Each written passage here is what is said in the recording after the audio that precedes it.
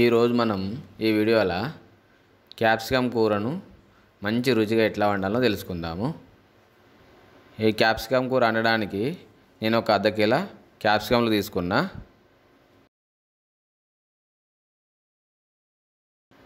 ముందుగాల ఒక క్యాప్సికమ్ని తీసుకొని వీడియోలో చూపిస్తున్నట్లు నిలువులా అడ్డంలా కట్ చేసుకోవాలి. ఇక నేను కొంచెం పెద్ద ముక్కలనే కట్ చేసిన. చిన్న ముక్కలు కూడా కట్ చేసుకోవచ్చు. ఎవరి ఇష్టం వాళ్ళది. పెద్దగా అయితే పెద్దగా కట్ చేసుకోరు చిన్నగా అయితే చిన్నగా కట్ చేసుకోరు. నేనైతే ఇక్కడ పెద్దగానే కట్ చేసుకున్నా. ఎందుకంటే చిన్నగా అయితే బాగా ఉడికినాక చిన్నగా అయిపోతాయి. అందుకని నేను పెద్దగా కట్ చేసిన. ఎవరి ఇష్టం వాళ్ళది. అలా పెద్ద తప్పేం లేదు.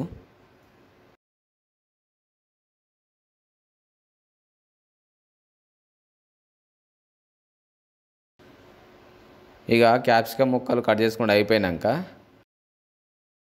వాటిలో కొన్ని నీళ్ళు పోసుకోవాలి. అట్లనే కొంచెం ఉప్పు కూడా వేసుకొని మంచిగా శుభ్రంగా కడిగి పక్కకు పెట్టుకోవాలి. ఇక క్యాప్సికమ్లను మంచిగా శుభ్రంగా కడుక్కున్నాక స్టవ్ మీద ఒక కడాయి పెట్టుకోవాలి. పెట్టుకొని దాంట్లో ఒక గంటెడు పల్లీలు వేసుకొని మంచిగా వేయించుకోవాలి.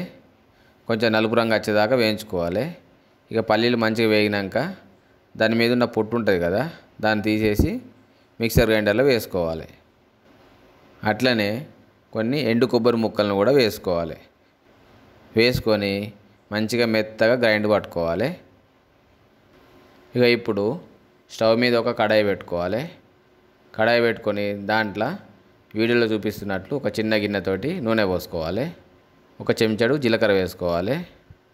ఇంకా ఒక చెంచాడు ఆవాలు వేసుకోవాలి. అట్లనే ఒక ఐదారు పచ్చిమిరపకాయ ముక్కలు కూడా వేసుకోవాలి.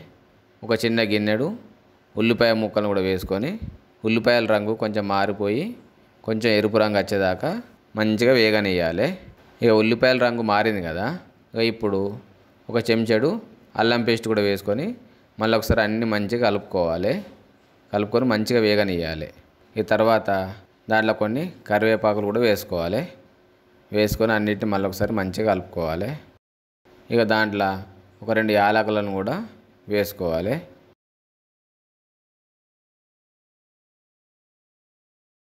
ఒక పావు చెంచాడు పసుపు కూడా వేసుకోవాలి.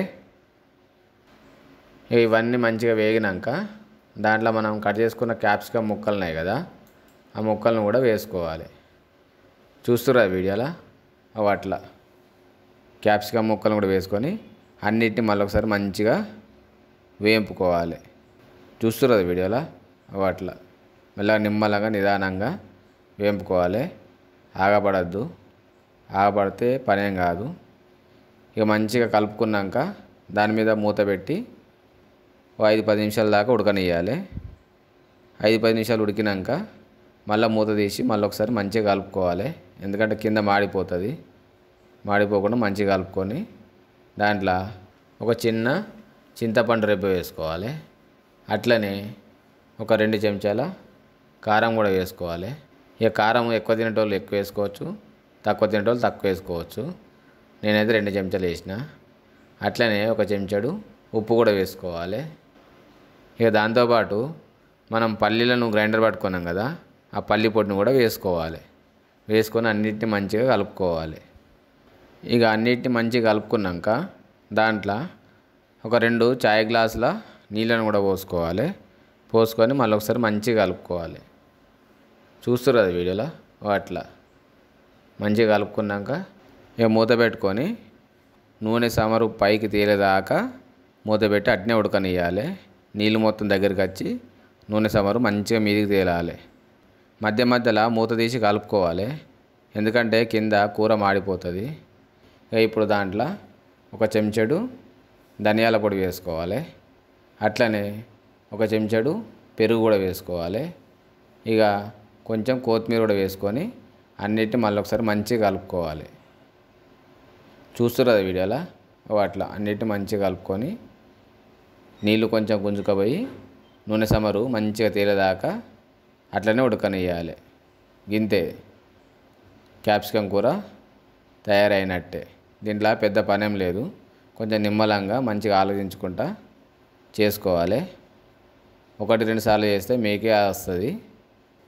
ఆగమం కావద్దు నిమ్మలంగా చేసుకోవాలి. ఈ వీడియో మీకు నచ్చినట్లయితే లైక్ చేయర్రి షేర్ చేయర్రి. అట్లనే సబ్స్క్రైబ్ చేసుకొని పక్కకున్న గంట కొట్టుడు అయితే మర్చిపోకుర్రి.